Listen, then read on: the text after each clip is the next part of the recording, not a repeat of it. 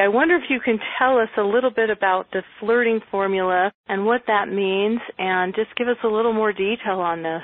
Absolutely. Um, the reason I, I really created this idea of the flirting formula is because I was having a lot of women uh, being even uncomfortable with the thought of flirting and mostly because there are two fears that often came up and it was the idea of inviting sexual advances before they're even ready to quote unquote have sex or that they want to be respected for their mind and, and not just their bodies, right? So there there was a resistance with this whole idea of, you know, flirting that it could it could be misconstrued in, in different ways and so they wanted to be able to show up um, in a most authentic way.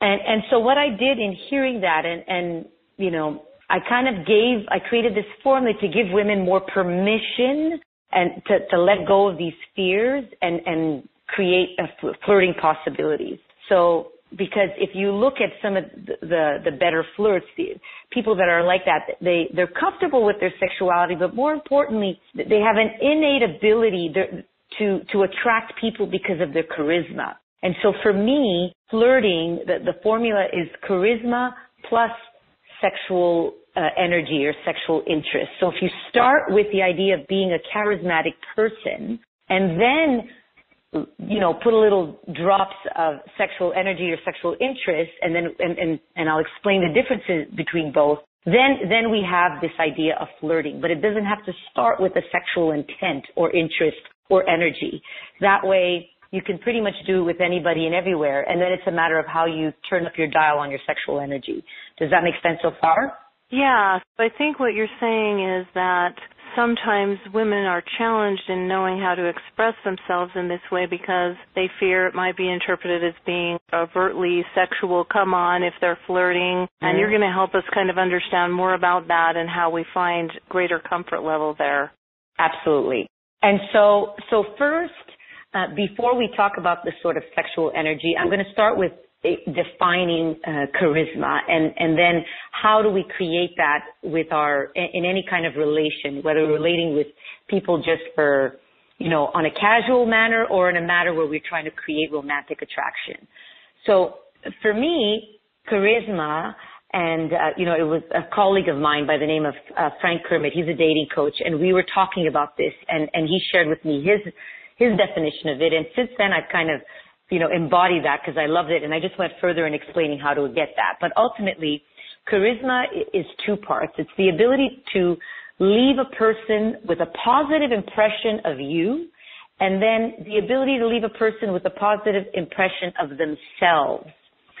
So when you know that, it doesn't become about how you physically look or how you're dressed, or it, it can you can actually be anybody and create this kind of an experience when you're relating to people and actually have the kind of thing that we call wow you're quite charismatic and and my def from that definition i really feel that there are there's sort of four social virtues that a lot of people are are longing to, to feel when they're, we're in the presence of each other. And so when you start with these four social virtues and you learn to become the kind of woman, if we're talking to women here, that can bring these, these virtues and these social experiences within a conversation or a context or a situation, and then you turn up the dial on, on your sexual energy, then we have what we call flirting. So, um, so I can, if you'd like, I can go into those virtues with you. But that's what I wanted to share with you as for the definition of charisma, so that it's not something that's unattainable. Because sometimes people think that you're born with charisma. You know, certain people have it, certain people don't. And I don't believe you're that is true in any context. I think you could learn almost everything, and and being charismatic is one of those traits that you can learn to to um, to build within your own life and create. Mm-hmm. Yeah, that's very helpful because I think you're right. I think sometimes we do have that impression that that's just something you either have or you don't have.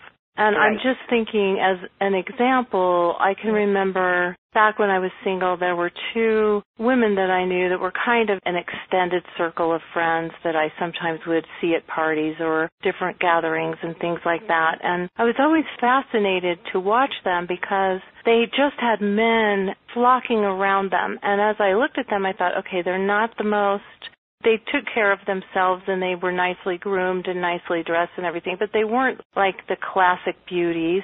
these two sisters, but they just had this natural way about them that made other people feel really good when they were around them and they had this way yes this combination that you're talking about here patty they had this mm-hmm. charisma with just kind of that hint of sexual energy and the men just were falling at their feet. I mean, they just had mm-hmm. so many opportunities for interactions with men and dating and for a while, I mean, it took me a long, long time to kind of figure it out. I thought, what is it about these women? I couldn't quite figure it out. You're right. And, and, and that's why what's great about that is when you know that it's a feeling that you bring to a conversation, um, then it's great. There's hope, right? That, okay, I can create that. So, uh, let me share with you what those four virtues are, and then we'll talk about sexual energy or sensuality and how to put, how to add that to the whole mix. And then we have what we call flirting. Okay? Okay. So, um, sounds good. Cool. So the first, the first virtue is what um, is called appreciation, and letting someone know that you understand and appreciate their positive qualities. And and this seems like it's pretty, you know, classic and everybody understands that. But truly, when you're a good observer of people, when you, when you just watch people, uh, appreciating them for who they are could be anything from the way they gesture to the, the clothes that they picked to wear that day to um, the way they use their words, the way they smile. When you become someone that notices that and then uh, appreciates the person for having that, for who they are in that moment, they they suddenly become more open and receptive to you.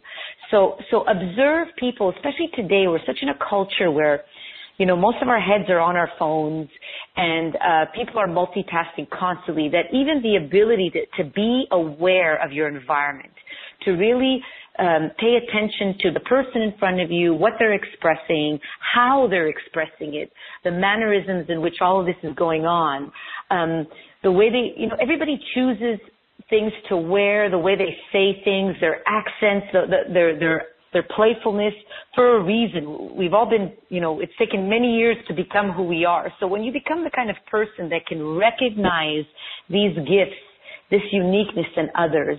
And and you you show them i say i notice this about you. Or even sometimes just a character trait how they laugh a lot or how you know they they smile a certain way every time. It could be anything. It, it you know and you learn to pick it up.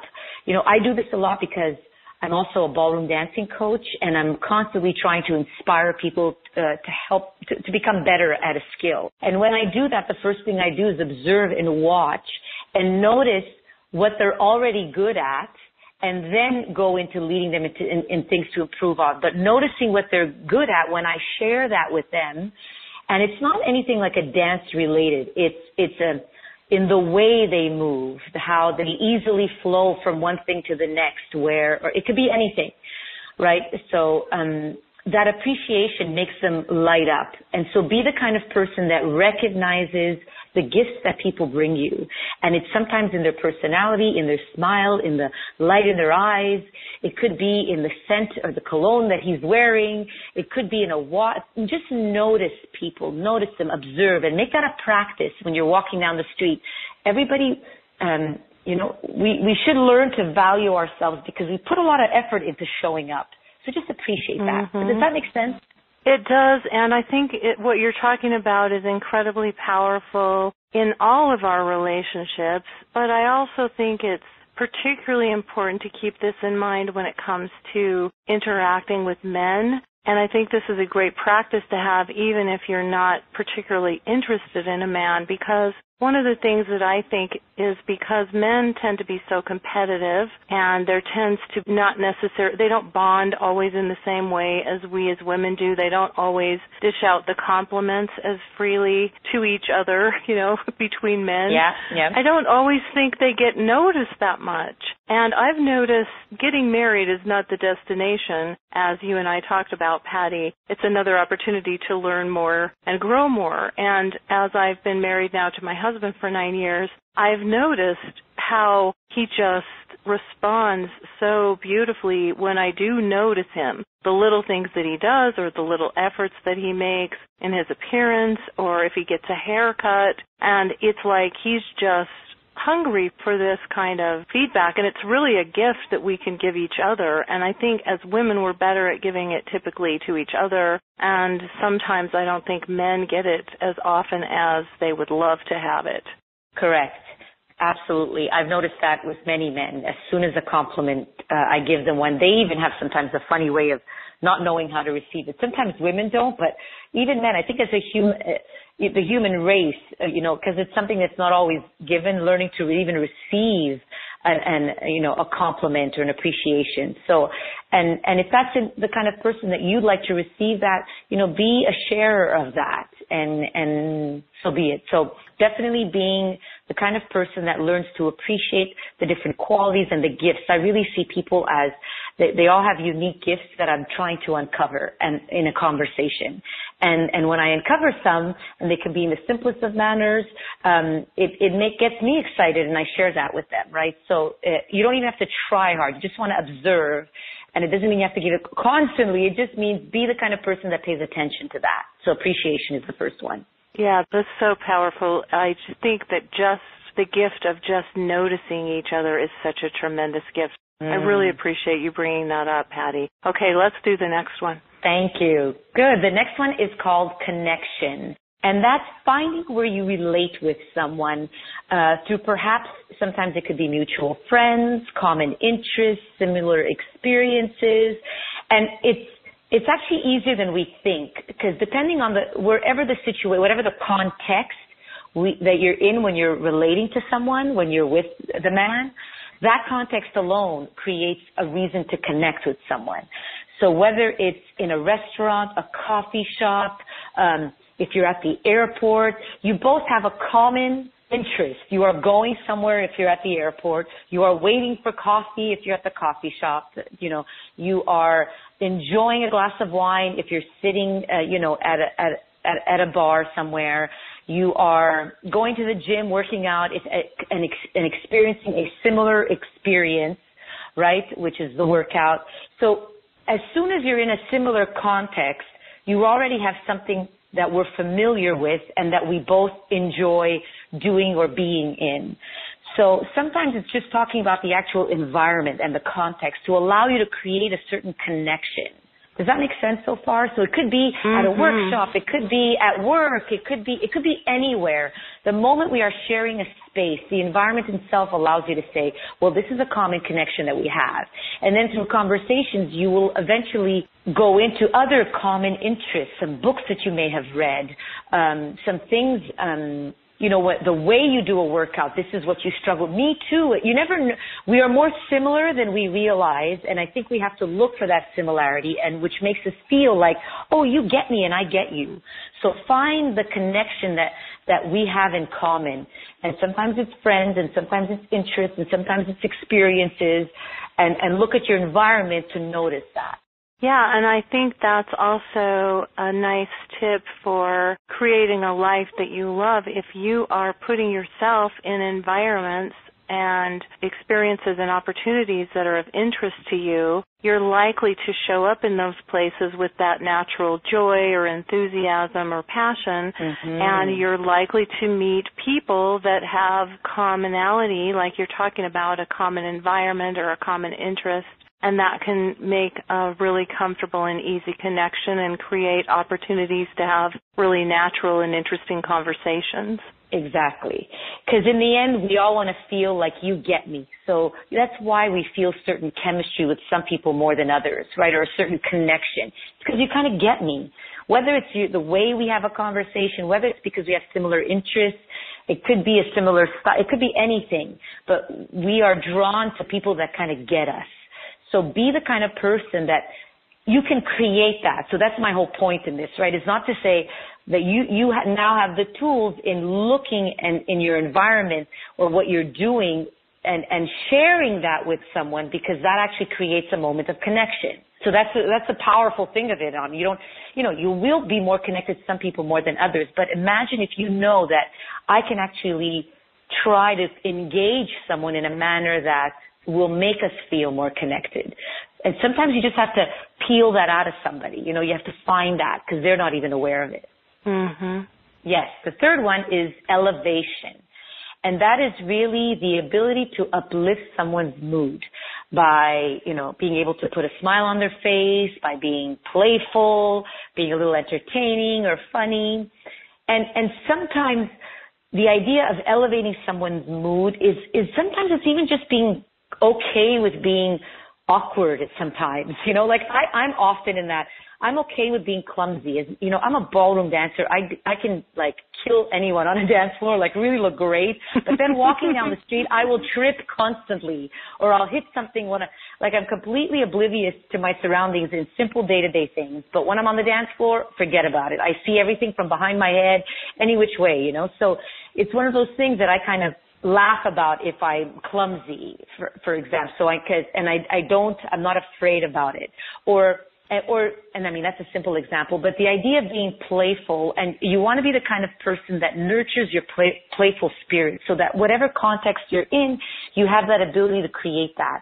And and I purposely uh, enjoy playing with pets or dogs. Even if I'm walking down the street, I'll see a dog, I'll get down and pet him and do whatever because I know that that energy of that lovable, playful dog will, will somehow transcend to me, right?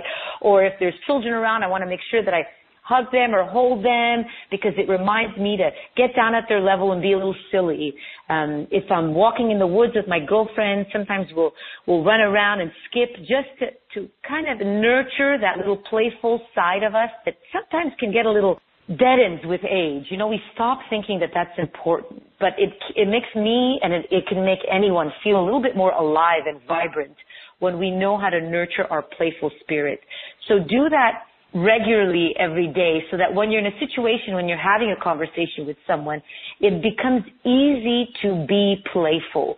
And and and kids are you know they'll see things and they'll spontaneously react right? That's what being playful and elevating someone's mood. You know if you see something that's kind of different and out of the oh my god did you see that? That was so cool. And whoa what did you notice? Wow this person you know and then you go on from there right? So you you become okay with being spontaneous. And that's what be, uh, elevating a mood is. It's not always so predictable. It's not always so mundane. You know, so, so you have to nurture that and you have to feed that. How do you create spontaneity in your life? How do you become playful? So be the kind of person that brings that in when you're relating to someone. Does that make sense also so far? yeah, and in fact, a thought that I had there was that I think authenticity is one of the greatest things that attracts us to each other because we can relate on a deeper level to each other when we see the realness, not the facade of what's going on with a person. And I think that spontaneity and that playfulness that you're talking about is something that we kind of tend to feel like we've kind of outgrown to some extent as mm-hmm. adults and we have to act all mature and and formal and stuffy sometimes and yet it's that light and playful energy that helps us to be in touch with our sensuality our femininity and also it's incredibly attractive to men. Yes absolutely. And i'll do that like especially when i'm in a restaurant. I mean i do that with my friends but i'll do that with anybody whether i'm with a man a girlfriend it's a habit that I do. Whenever I go to a restaurant and I have to decide what to have, I'll always engage the waiter or the waitress. I'll say, listen, these are my top three. What do you think? What should I have? You know, tell me a little bit about it. What do you think is, and then we start having a conversation and, and he's trying to, or she, trying to sell me on this. Well, it depends. What do you like? Are you to this? And then a whole conversation and, and we can't help but elevate the mood just in ordering, right? So you'd be mm-hmm. surprised how how it's it, it's very simple um, to create that moment. It you know it could be trying to pick a card at a card store. It could be uh, any situation. I do trying to. I, I do it all the time, and it's really I have to say almost it's connected to the to to it's okay to ask questions if you don't know something, and and even and that's where the spontaneity comes in. I really don't know. What should I pick? Do I go here or do I do this? I'm shopping for a top. Do I go for this one or should I go for that one? What do you think? I'll ask a complete stranger. So, so then you have less fears with trying to be so appropriate and so perfect. There's, there's beauty in imperfection. So even in the conversation in the moment. So practice being spontaneous in any, at any moment. So it could be from asking someone, a complete stranger, uh, where, you know, what should I do with this? Or, you know, anything. Become that kind of a person and not just tunnel vision and walk through life with your with your own little world. So it creates it. It's really allowing that peripheral vision to to spread out and notice things. You know that out of the blue that maybe people don't notice, and then call it out and share that. So yeah, that's what I feel mm. about uplifting spontaneity and elevating the person's mood around you. So when you're that kind of a person, you create that that character trait, it becomes easier for you to do that in any context.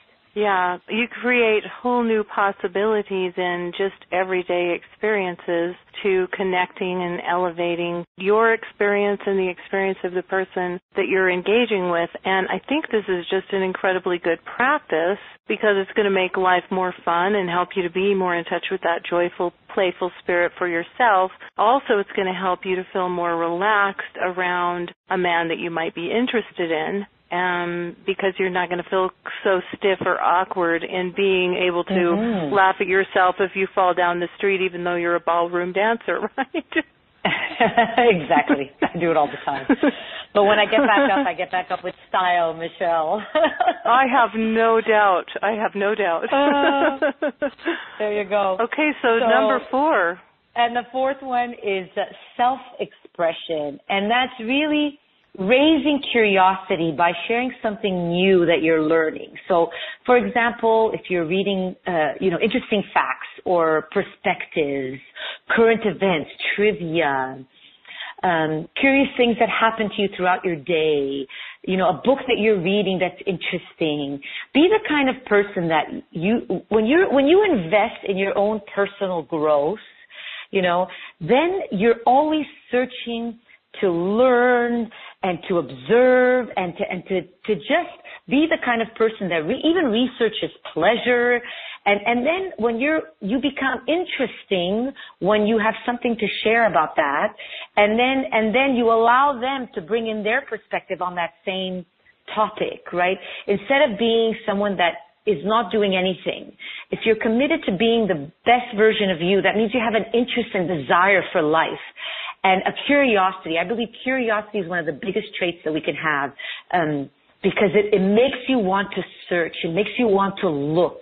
And so when you're searching and looking, you become someone that's expressive because you're curious about facts, about books, about learning new ideas, concepts, um, of trying new things. And when you're that kind of person, then you want to share and express in it and not where it becomes all about you, but you, but there's something about that. Cause if you remember the meaning of charisma, they feel better when they're in your presence. So you, you make them feel better about themselves and they notice that when they're with you, they feel better about themselves, sorry, and they have a great impression of you because you're the kind of person that I like hanging out with you because time goes by because you're interesting because you're doing different types of things and you know how to share it, not in an arrogant manner, in a sake of, let me share something interesting that I think is really cool and what do you think about that, you know? And so be the kind of person that is curious about life. And, and when you're curious, you, you, you start to learn and research and, and about anything. And it could just, you know, could be a, even a movie that you saw that was great. You know, I recently saw the movie, um, Inside Out and it's, I bought it and I'm talking to everybody about this cartoon that is that is really not for kids, it's for adults and it's great and sharing some of the things that I felt that I learned from this movie and then, and now everybody's watching it that I share it with. So it could be as simple as that, you know, it doesn't have to be anything over the top, but, but when you enjoy something virally, like I really feel a visceral experience when I enjoy something, then that visceral experience is felt from the other person. And so, so they want to be around that because you make them feel better when they're around you. Does that make sense? Yes, and it strikes me that curiosity is another one of those kind of childlike states. Children mm-hmm. tend to be very curious and want to explore everything. And I think this is sometimes another thing that we sometimes can lose a little bit of our edge on in certain ways as we move into adulthood. We can get very easily just kind of really comfortable in a specific routine and kind of do the same things every day and go to the same places and see the same people. And it's like we forget sometimes all that is really possible for us to explore. And this concept of curiosity is so powerful just to create not just potential for connections but to create an interesting and amazing life that you love and you're right. When you become interesting and have something interesting to share or something that you're really passionate about, that again is part of that charisma piece that you're talking about. And I've heard mm-hmm. so many men over the years say when they talk about why they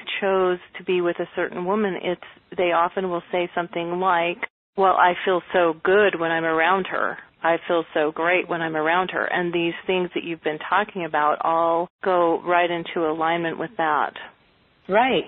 And and and it's it's uh, very freeing to me because not only does it become about attracting someone, it really becomes about nurturing yourself and, and ways to give yourself um, self-love. You know, what is it about me that makes me special? So when you go on this journey of uh, wanting to connect with with experiences and, and appreciating the things around you and and uh, being able to be spontaneous and elevating in, uh, people's moods and being playful and and being the kind of person that's curious about life and and has the ability to express yourself in a very freeing unapologetic manner because you enjoy the experience that you're learning you know then then it doesn't even matter who's around you it it you know so so yes, and then the attraction happens with that. But I really think it's a great way to build, to remind, to kind of build your own confidence with your value as a human being. So it becomes about the virtues in your life and not so much about what you have, but, but how you live what you're learning. Mm-hmm. So, so that's the first part. And then, then from all this, so, so now, you know, allowing yourself to be this, then, then we say, now you, you meet this guy or you're in the presence of this guy and, and, and you just there's something that you're sensing that you are attracted to him. And perhaps he's even attracted to you but you want to kind of turn up that kind of romantic chemistry. And this is where the the idea of femininity and sensuality and turning up your sexual energy becomes important. And there's different ways of doing that. And i believe um, through my teachings i do it more through through the idea of body language. And how do you use your body language in a way that is receptive and open and inviting and um, and, and, and draws him in. So then I can give you some specific uh, tips on body language things that, that women can um, tools and tips that they can use when they're having this conversation. What could they do in the meantime with their body in order to show that there's an interest beyond just platonic? Yeah, I'm that, so excited about you sharing this because I was just having a conversation earlier today, Patty, with one of my clients, and she was sharing with me a little bit about how easy it is for her to feel so relaxed and comfortable around a man that she's not necessarily romantically interested in, but when she's around a man that there's some chemistry with or she senses something there might be some kind of deeper kind of connection possible there she said it's almost like she says it almost feels like I'm like want to clench my teeth and my fists because I'm so nervous and I'm thinking about it so hard. I'm overthinking what's he thinking about me? Do I look okay? Blah blah blah. These thoughts that are going on. And she said I can't even relax and be in the moment. And she said I've even had a couple of men say that I had a stern looking face. And she said I probably oh. did because I was thinking so hard about this that it probably made me look very stern instead of inviting. I'm so oh. excited oh. we're going to talk about this. Yeah, poor thing. Oh, I, oh, I know, poor thing, and she's it. adorable. I know. I, I just want exactly. I just just you telling me that I want to give her a hug. You know, because me too. It is. We don't. We. I know. We we we don't. We're not even aware of of how our nonverbal is communicating something, and even if what, sometimes it, it's really communi- communicating something that you're truly feeling, like she was feeling tense and nervous, and sometimes it's communicating something that you might not even be feeling.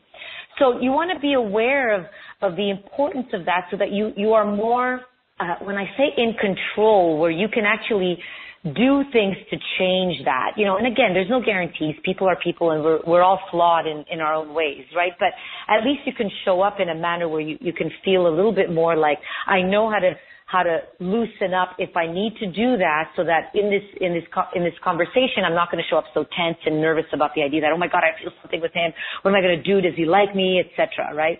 So mm-hmm. I, I, I um, share with women, I talk about transition tools, and these transition tools are um, my top three, if you will, where women, when they're going from their, let's say, more masculine day-to-day situation where they, they need more, because in our work environment, we tend to be much more in our masculine because we've got to get things done. When we're taking care of our kids, we're much more in our, in our masculine energy because we're doing, we're in no way in a, in a, we're never, we're rarely in a situation where we're just receiving and kind of elevating the senses. We're, we're, we're not in that place. So we need to know how to do things in order to transition so that when we are on our dates or we have just seconds to be able to go, okay, uh, wow, I see somebody, what can I do to my body in order to help me get in that space? And that's why I talk a lot about the body because I use the physical body to help to, to allow for your inner spirit to radiate. And sometimes to try to reach it internally first can take too long or, or, or, or there's a little, it gets it's more stuck.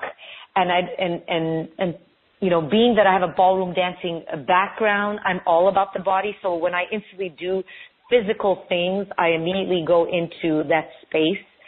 So I'll share with you those three. So the first one is my um, all-time personal favorite it's called uh, self-touch caressing yourself and as simple as that may sound, I, I need to share with you a story about this, Michelle, because, and then I'll, I'll go into um, an idea of do of why this is important. This really became evident to me when I was ballroom dancing. I was uh, I had a coach. There was this man.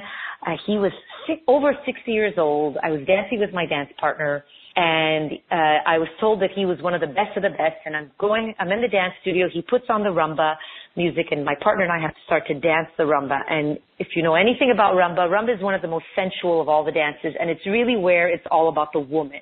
So the rumba comes right. on and literally probably within 20 or seconds or so that it comes on, he stops the music, walks right up to me and he says, Patty, do you love yourself?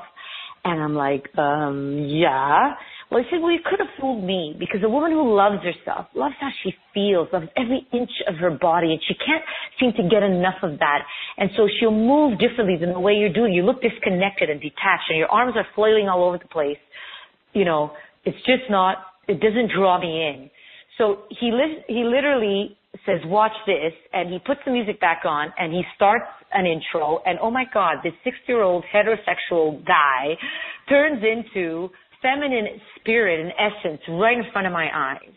And it really started with the idea of being comfortable with caressing your your body as you move so that you, your body begins to mold and melt like oil would move and not flailing my arms around to try to get attention. So when I tell a woman self-touch, a caress, whether it's before she goes on the date while she's sitting in the car or whether she's sitting um, in front of the man, if she gently begins, if you even just try this now, Michelle, and even my tone starts to change when I know I'm about to do any of this, you know, you could gently uh, take your hand and specifically the middle finger because it's the longest of them all and start with the top of your forehead and just follow your hairline and let your head kind of flow with how your hand goes down the side of your head and your then all the way down to your neck and maybe stops at the clavicle bone and then kind of drops on your lap. And as you do that you just kind of get all melty and gushy and juicy. Does that make does, you know what i mean? Do you feel that mm-hmm. a little mm-hmm. bit? I wish i could. But it's just the idea of you know and sometimes i'll be sitting there and i'll just caress my shoulder while i'm listening to him to to just ground me and remind me that that you know i love the feel of my skin. And when I do this, my body loosens up and it softens and it and it it just allow, it kind of melts. I always use the idea of melting because our day kind of builds up walls where we're walking around much more rigid and stiff. And so what are the things and the tools that you're going to use in order to melt into your feminine, femininity and your sensuality? So self-touch, sometimes it's just touching your thigh when you're sitting there. Sometimes it's touching your hand and gently caressing it, playing with a piece of jewelry a little bit as you look at him. You know, so any of that to help you, to remind you that you are a soft, feminine woman um, that enjoys every inch of her. And, and that's what that touch is telling your subconscious. And, and then he will sense that in your presence. You don't even have to, you're not, you're not telling him. You're kind of just doing this action. And it'll help you kind of be in that space. And, and, and I'll let women, I'll, I'll tell women to make sure they do this before they go actually show up on the date so that you can already start this melting process um, so that you, you know, again, the, the, those icy walls of your day start to melt away. The, you know, so that's one of the, the self-touch tool is one of them. Yeah, the I mean I could almost feel some of the tension melting away and I didn't even think I was stressed out as I just kind of like touched my forehead along the hairline. And I think like you're talking about this getting in touch with our physiology is a way of releasing that masculine energy or that stress that's built up through the day and helping us to be able to relax. And that is a key piece to feeling more comfortable and being able to feel in our sensual or our charismatic um, yes, space. Yes. Yeah.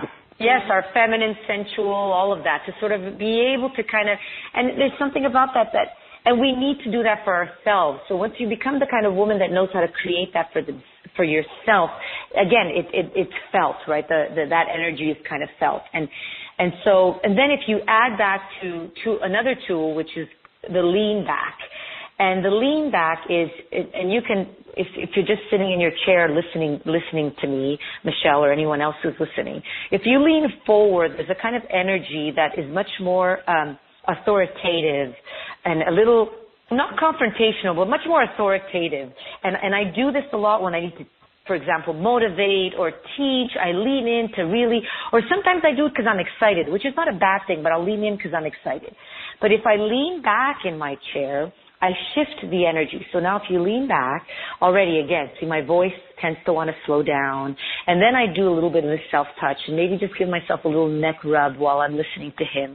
It, it again allows for the melting process to continue and to be more receptive uh, to, to him. So going from a doing poise to a more receiving poise. So just notice mm-hmm. even in your shifting from forward to back and there's something that, that feels differently in that, which one is a little bit more welcoming and open and, and as compared to, and, and some, some, you know, coaches or people I've heard it described as the ability to unzip your heart when you lean back, you know, or, um, it, it allows for some of that, what's inside and what's kind of that, what we're, what we, what we want to close up allows to slowly start to open. And it it's a little bit more vulnerable in that space when you kind of lean back but there's something that's soft and beautiful about that. So if you lean back while you're doing a, a gentle caress uh, you know whether it's your neck your shoulder your hair your hand again it just amplifies this sensual experience yeah, I really think that's really valuable. I think the concept of leaning back, whether we're talking literally or figuratively, puts a woman in that zone of being able to what I like to call graciously receive. And I think it mm-hmm. also helps women from depleting their natural energies by overgiving too much, too fast, too soon, or in ways that are not respectful to them or don't keep their boundaries strong in the ways that make them feel good. And I think one of the things that I see as a common theme that shows up a lot with a lot of women, particularly if maybe it's been a while since they've had a man in their life or if there's a lot of chemistry or attraction or whatever, sometimes a woman will in her excitement or in her anxiousness to see what's possible will start giving too much too fast too soon. And this concept of leaning back, like I say, whether it's figuratively or literally, is just an incredibly powerful concept. Yeah. It, it, it helps remove, you know, when you were describing that, that, that sense of urgency. Um, you, you know, you have to, we, we have to slow down as a society, you know, and, and allow the lean back to remind you to take a deep breath and to just be in this space instead of having to have a result or outcome. And because if, if you're living the kind of life where we described earlier, where you are of appreciation and you're continuously connecting, you know, there's no urgency to, to have to make things go completely right with this one person. You know, it, it, it should sort of naturally and organically set a pace in, in, in a way. So if, if you try to be too urgent with everything, then you remove the mystery and the, and, and the sultry part of it and the sensuous part of it. So the lean back allows exactly for that to remove a little bit of that urgency that we all kind of have. You know, we've got to get to this appointment. I want to make sure if he's the one. I don't want to waste my time with the wrong person. I don't, you know, blah blah blah, all this stuff, right? So we need to kind of remove that. Even if we are trying to figure each other out and are we right for each other, we don't need to bring that with an energy of urgency. Yeah, and I think that when it comes to men and women and creating that romantic relationship or creating the possibility for that, I think when a woman leans back and is able to receive, it creates more or less an opening or a space for the man to step into and show his gifts or what he might want to offer her without it being that forced or that outcome based energy that can sometimes happen too early in a relationship. And I think that it's just a really beautiful concept because so many times when we kind of want what we want when we want it, and I think sometimes we are anxious to know, we don't want to waste time, or we want to be very efficient about this when it comes to love, and we think, I've got to know right now, or I want to know right now how this is going to go. But like you're saying, we really rob ourselves of that delicious time of savoring what is really possible and exploring that and allowing that to evolve with grace and ease. And I can remember so many times, and I know this is kind of a cliche, where people would say, when you're with the right guy, things are just going to fall naturally into place. And I used to think, yeah, and I've got some swampland to sell you in Florida or something.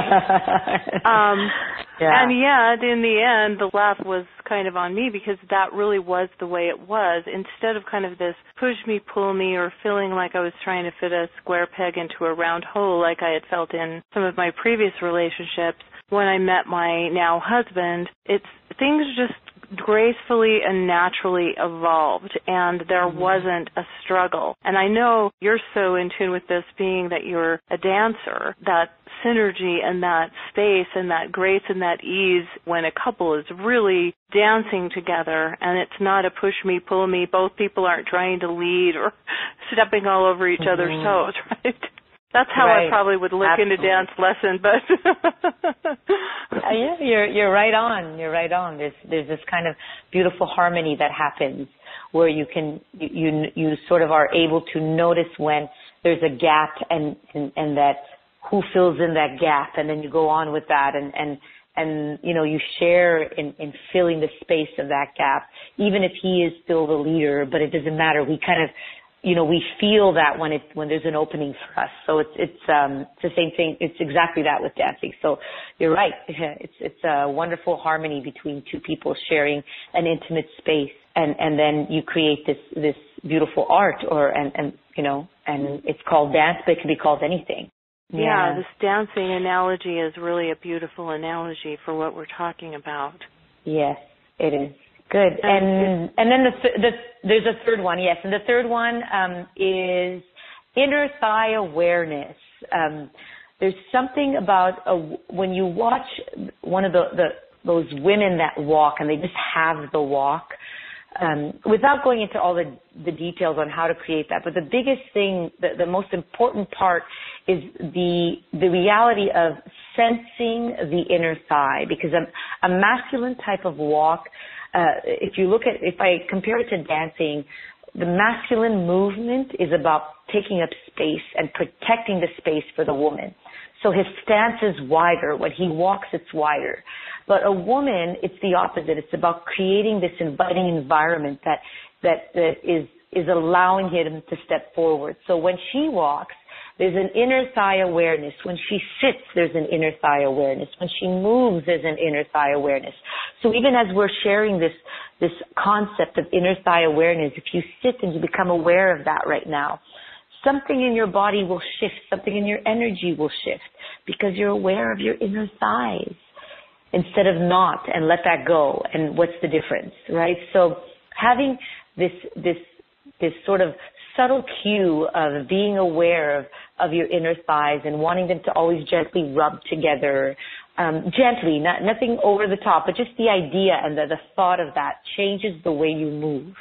Mm. So have an inner thigh awareness. That's very fascinating and mm. something I hadn't really thought about, but you're right. When you think about a man dancing, he's taking that wider stance. and a woman, it's there is that inner thigh awareness, and I'm sure in dancing, even more mm-hmm. so because you're so much more aware of your body and your physiology. But I can definitely see how it might change the way you walk or move or just present yourself in whatever situation. That's really fascinating, really interesting. Yes, it, it really does. Just just that thought, just knowing that when you walk, it, it'll it'll shift um, the way the way you show up. Absolutely.